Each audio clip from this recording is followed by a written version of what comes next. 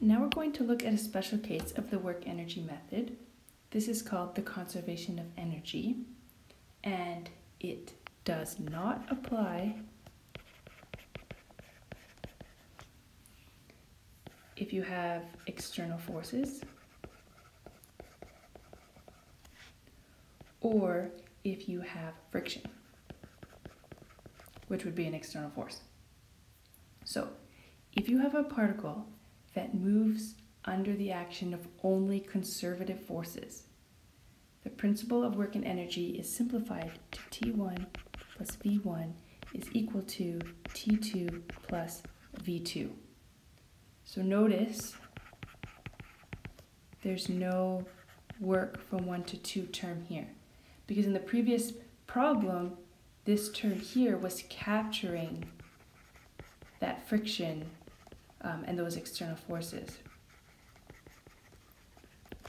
So if you don't have any of those external forces that are just sort of bleeding energy out of your system, then you can say that the dynamic energy before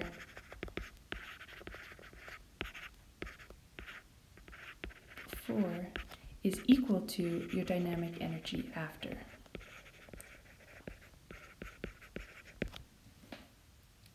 So here, remember our T1, our T's, these are our kinetic energy,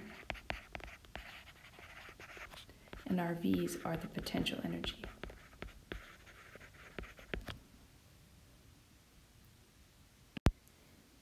Even though this equation looks very similar to what we were doing before, it's conceptually very different because now we're not considering, um, so if we think about gravity, we're no longer considering gravity as the work that's being done, we're considering gravity as potential energy.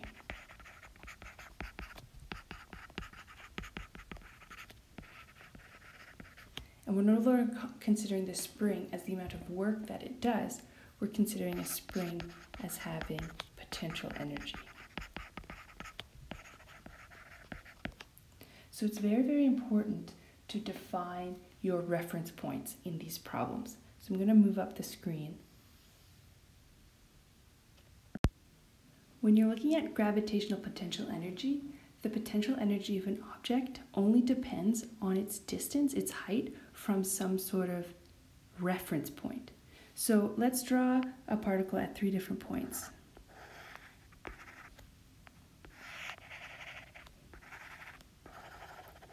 And I'm actually going to set the datum here at this middle point. So for our particle at this top point here, it has a distance positive y from our reference. And sorry, I'll just label this as our reference datum. So that means that its potential energy would be equal to, at this moment, I'll call this 1. So V1 is equal to the mass times gravity times y1, right? That same particle, after it travels down and reaches this reference point, we'll call this point 2, it has no height from the reference. So V2 is equal to 0. There's no potential energy. At point 3 down here, it now has a distance of minus, I'll call it y3. So now the potential energy of the particle at that point, V3, would be equal to negative mgy3. This reference point is completely arbitrary. When you set up your problem, you get to decide where that reference is, but you must do it. If you don't set a reference, then your problem is not going to make any sense because your potential energy depends on a reference point.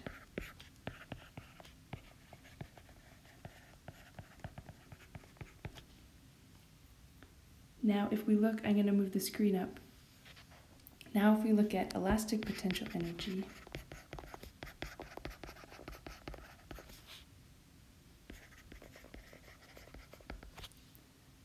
now we're looking at that energy stored in a spring. So if I have, I'm going to use the same drawing as before, we have our spring here, and this was our unstretched length.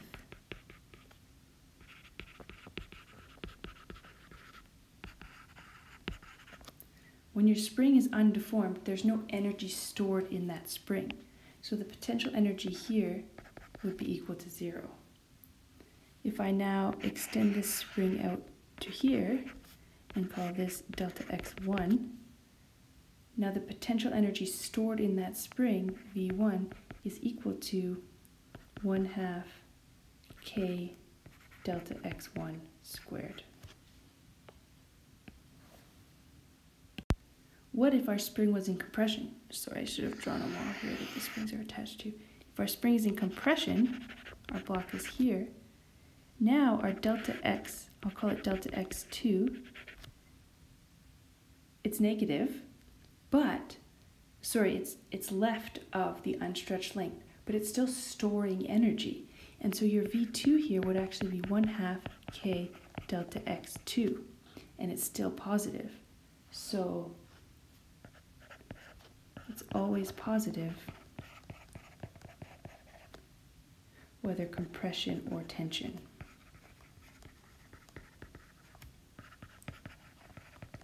And that's because it has potential energy. Whether it's stretched or compressed, your spring is storing energy.